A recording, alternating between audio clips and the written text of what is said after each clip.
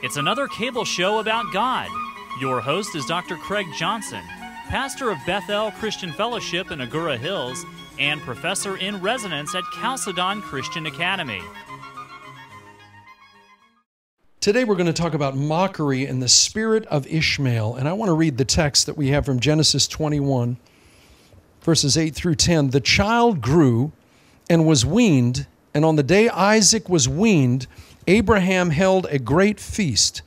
But Sarah saw that the son of Hagar, the Egyptian, that the, she had borne to Abraham was mocking. And she said to Abraham, Get rid of that slave woman and her son, for that woman's son will never share in the inheritance with my son, Isaac. Today we're going to talk about mockery. Did you know the Bible says in Revelation chapter 12, verse 10, that our enemy, Satan, is an accuser. Literally, he is a lawyer who's accusing day and night the people of God. You know, the enemy accuses all of us. We do have an enemy. But I want to reveal something about his tactics. It's not just that he's an accuser, but he's the arch mocker of all times. Do you know what mockery is? We've given a, a, list of it. To mock is to scoff, to jeer, to revile, to rail, to sneer at, to insult, to injure, to humiliate. Did you know that mocking is one of the most painful experiences we can endure because mocking is a slight at the very image of God we're made in? Now, we're going to talk about a story, and I want to introduce you to Isaac, the son of promise, and Ishmael, the son of the flesh.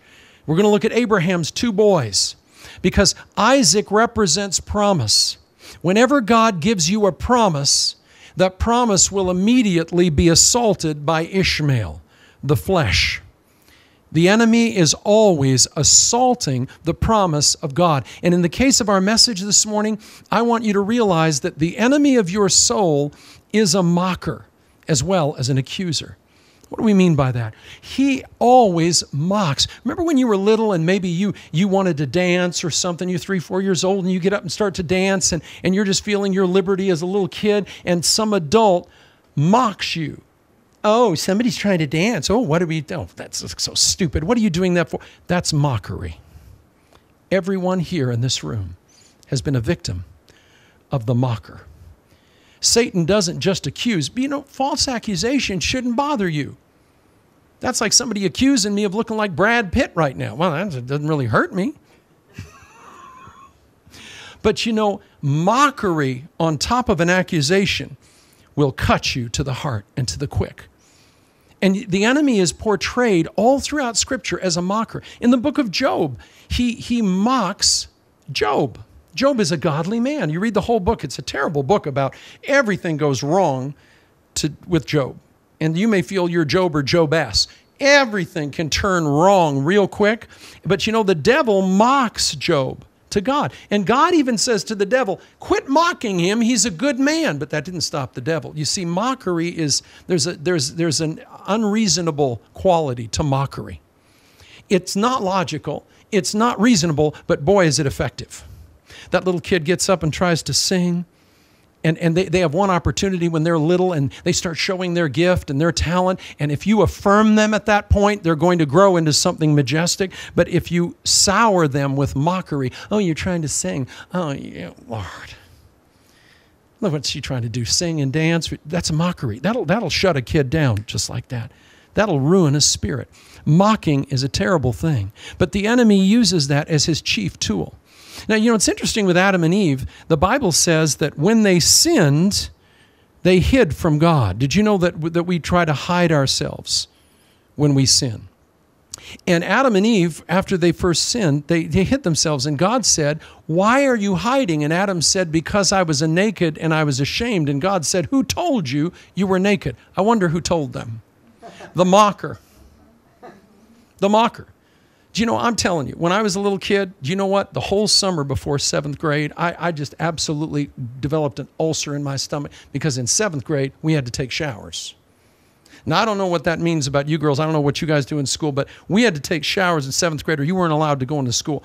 I worried all summer vacation about the humiliation and embarrassment of taking showers. When everybody else is having fun, I, I, am worried. He says, Craig, why aren't you having fun this summer? Never mind. And there came the day. It's enough to face the showers, but the abuse and the mocking. I mean, it's enough to be naked, but to have everybody point out absolutely every error to you. Do you see how lethal that is to the soul? Well, guess what? God is going to cast the mocker out of your life where he has been in his tone and his way and his manner assaulting you. You see, we're going to find out this morning Isaac, the son of promise, in Abraham's tent. That represents you, the promise, the identity God's given you, your value as a person. You are utterly a promise of God in flesh. He made you, He formed you. You are unique, you're unlike anyone else. You're Isaac, you're the promise. But Ishmael, representative of the flesh and the enemy, is always going to knock at the promise with mocking, mocking, mocking. Let's look at our text again. And let me bring you up to date where we are. Let me tell you a little bit about the story. In Genesis uh, chapter 21, Abraham has two sons. Now, he, he, he, he and his wife Sarah are given a promise. And the promise is you're going to have a kid. Well, Abraham's 100 and Sarah's 99. And it hadn't happened yet.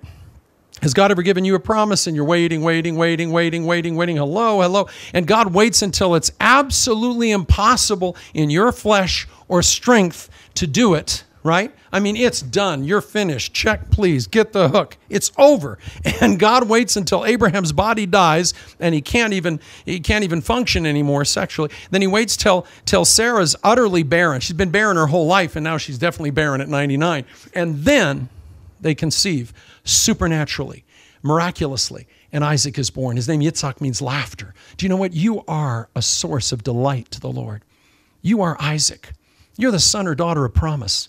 God brought you here on earth for a reason. Now, your parents may not have planned for you, but God planned for you. It doesn't matter how you were conceived, it's that you were conceived, and you are right on time, and you are a son of promise or a daughter of promise. But let me tell you, you have an enemy. Ishmael represented the son of the flesh. Ishmael, Ishmael represents the mocking spirit.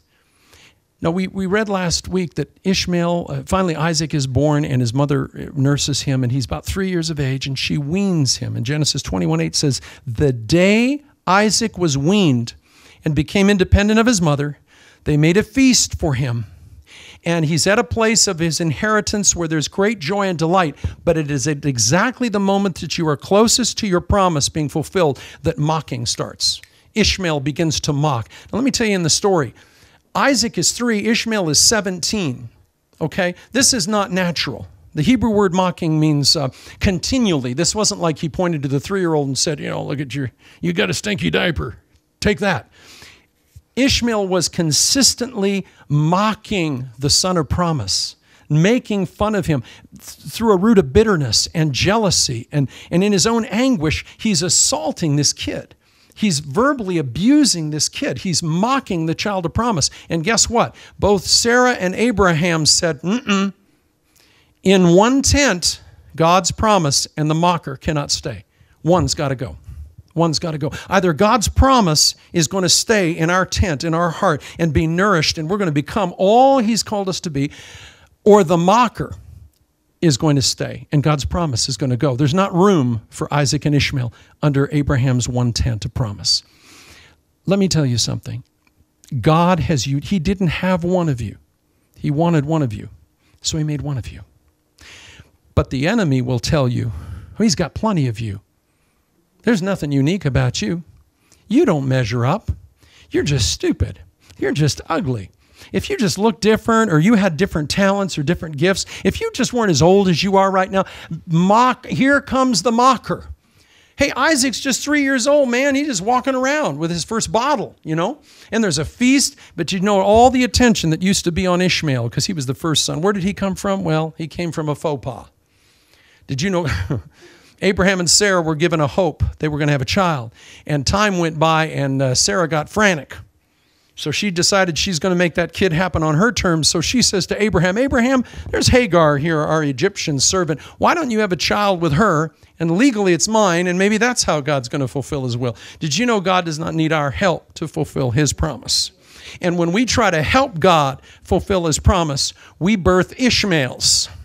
And the problem with Ishmael is Ishmael looked like Abraham, but he didn't look like Sarah at all because he was Hagar's boy. He was a boy born of an Egyptian slave. You know where they picked up Hagar? In Egypt. When Abraham disobeyed God and went to Egypt, he picked something up there. You know, you pick a few things up sometimes when you go where you shouldn't go. Nobody says amen at that point.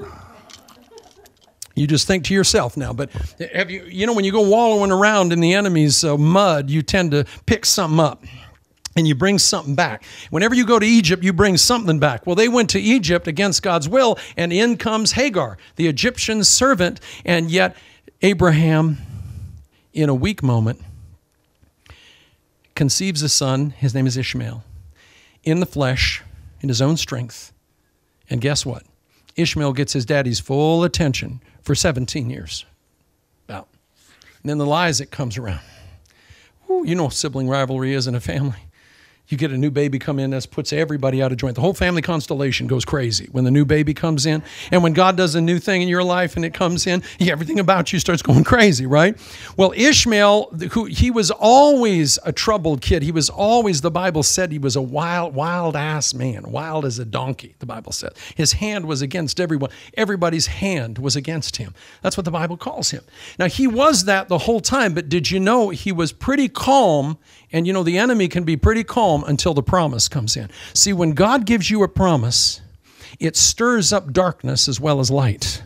When you get closer to the fulfillment of a promise in your life, the resistance and the mockery will come up as never before. And here's Ishmael mocking the child of promise. The enemy isn't just an accuser, he's a mocker. Let me read some texts about mockery the disrespectful contempt Mark 10, 33 and 34, Jesus said, Behold, we go up to Jerusalem, and the Son of Man shall be delivered unto the chief priests and unto the scribes, and they shall condemn him to death, and shall deliver him to the Gentiles, and they shall mock him. Luke 22, 63 to 64. And the men that held Jesus mocked him and smote him. And when they blindfolded him, they struck him in the face and said, Prophesy, prophet, who is it that smote thee? Luke 23 11. And Herod and his men of war set him and mocked him and arrayed him in gorgeous robes and sent him again to Pilate. Mockery. Luke 23, 35 to 37. And the people stood beholding, and the rulers also with them derided him. And the soldiers also mocked him, coming to him, offering him vinegar, and saying, If you are the king of the Jews, save yourself. And listen to Hebrews chapter 11, verse 36. And others had trial of cruel mockings and scourgings, yea, moreover, of bonds and imprisonment. Do you see how mocking is the highest level of assault against you as an Isaac, a son or daughter of promise made in the image of God? When somebody mocks you, you know, they could reason with you. That doesn't get you down. But when somebody goes, Oh, you're so special. Oh, aren't you just a big deal? Can you see them circling the Lord of glory, the Son of God, who has never sinned, and they're mocking him? And he's naked, suspended between heaven and earth, dying for the sins of the world, and they're poking fun at him and mocking him as he is there accomplishing the redemption of the world. Satan knows he can't win the reasoning battle, so he cuts right to that which would maim us and cripple us more than anything else mockery. Anyone ever mocked you? maybe a former spouse, maybe somebody close to you in your family. Think of when you were little and think of when you were vulnerable, like little Isaac, three years old, just weaned, running around, just finding out who you are, and you are the son and daughter of promise. If you're alive right now, you are an Isaac. But Isaacs are known by who mocks them. Now, think about it. I don't want to just get you to go dig through the past because God knows we all have enough of it and God's trying to get us to look at the future. But think of how this thread of mocking has affected your life. It could have been a spouse that kept pointing out your imperfections all the time, but not just pointing them out, but grilling you and mocking you, making fun. Oh, oh, aren't you Mr. Handsome? Jeez. Put on another 10 pounds, guy. Jeez. Mocking. Facts are facts, but when you put the mock on it, then there's, there's an assault. And I know I'm talking to some people today. And, and, and, and, and again, It's God's Holy Spirit that will bring a deliverance from the yoke of mocking. But the wounds that have been produced in you through the mocker, and by the way, if you get mocked enough, you might yield and become a mocker yourself. Do you see somebody that has been assassinated and assaulted by mockery? Someone who is an Isaac of promise, who's been assaulted by an Ishmael of mockery. If you yield to it in your sinful, broken nature, you begin to mock other people. That's when you begin to tell your children, you're stupid, you're dumb, you don't measure up. Who do you think you are? You're not going anywhere. Your daddy didn't go anywhere, and you're not going anywhere. That's mocking. Did you see that? It, it, you don't hand it back, you pass it on. If you were continually, consistently mocked and you were debilitated by that, and you don't get that cleansed and healed, and you don't get empowerment and healing by the Holy Spirit at that point of mocking, you're open to become a mocker to other people. You know what it's like to be around mockers, man. They, they can roll their eyes. They can say more without a word. I know somebody that doesn't even need to say anything. All they need to do is go, roll their eyes. Don't even need to say anything. You know those people. And they can always say, I didn't say anything. No, you just mocked me from heaven to hell and everything in between. One look, a parent, you know that look. They give you some look. You don't, you, they, they've just preached a sermon to you. Mocking can be conveyed with, the, the Bible called it shooting out the lip, curling the lip, jeering, because it involves railing and jeering and insulting. And yeah you know so and so is so anointed? Their ministry is so wonderful.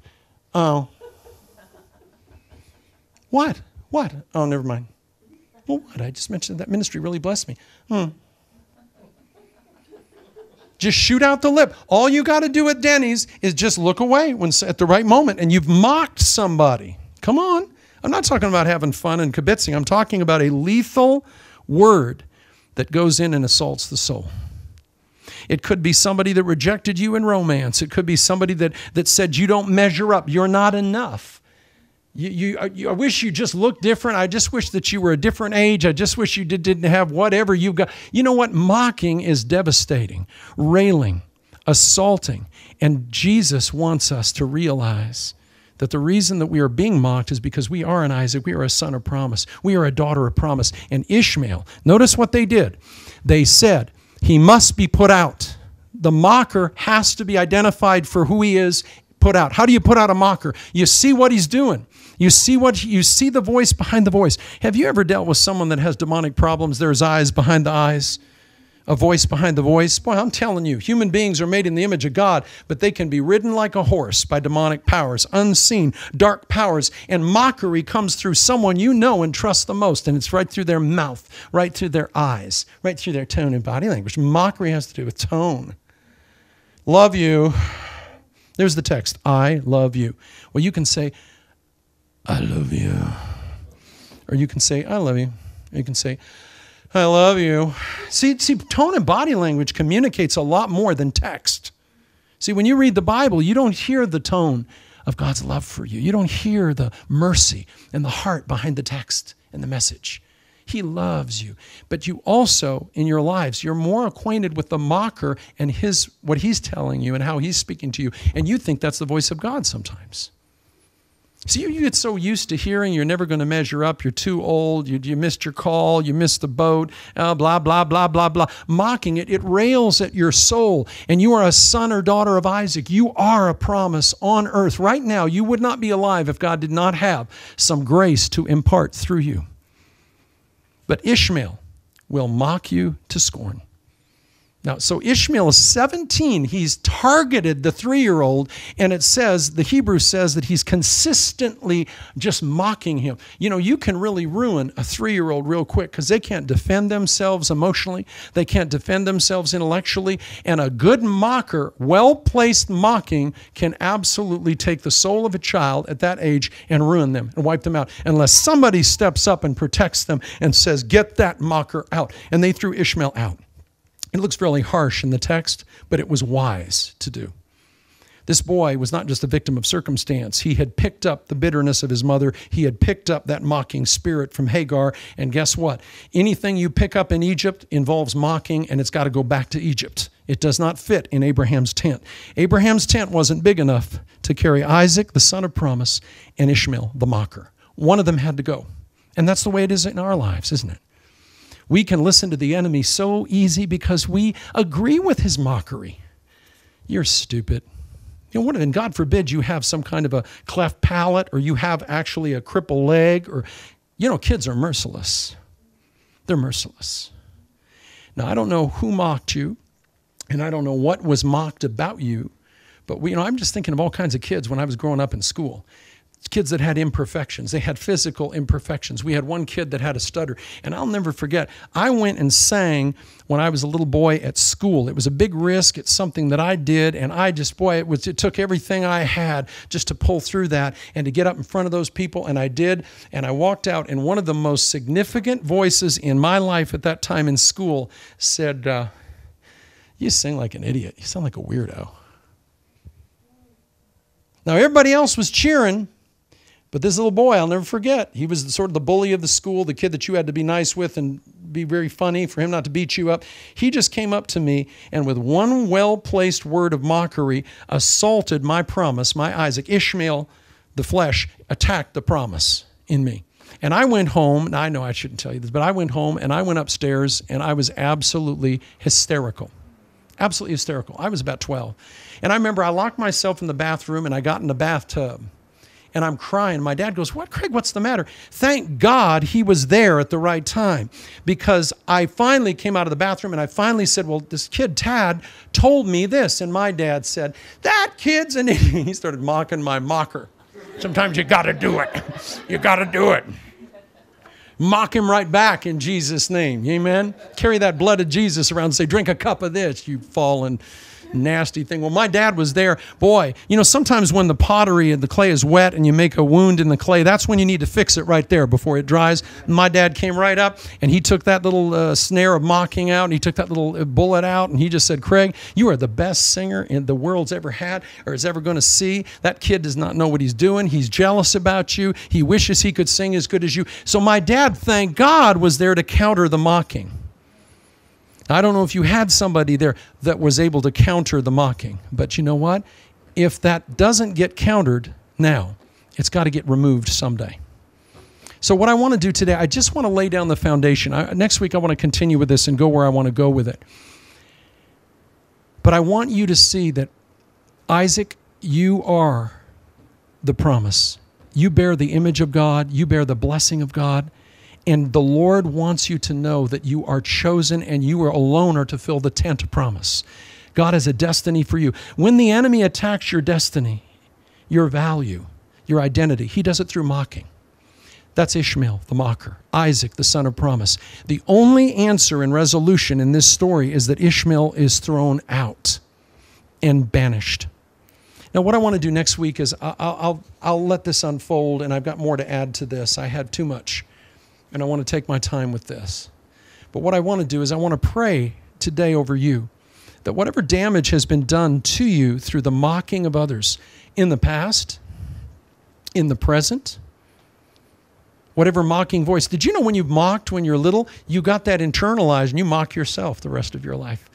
You know, when you, I hear people, I talk to people all the time, and I usually hear them expressing some critical voice you know, I don't know if it's mama that was critical or daddy that was critical or your uncle that was critical or your brother or your sister, but whatever mocking voice, identify the mocking in your life.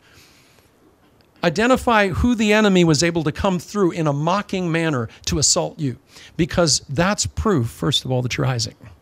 It's proof that you are the son or daughter of promise if you have been assaulted in mockery. Mockery sounds like you don't measure up. Who do you think you are? You're not valuable.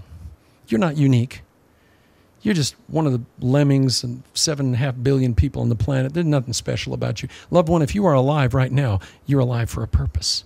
You survived. Look at what you survived to get here.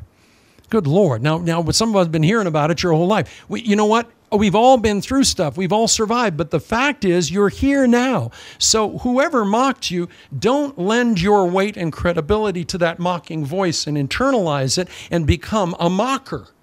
You know, I was driving the other day, and I was actually in Westlake driving, and I made some driving mistake, and you would not believe what I called myself.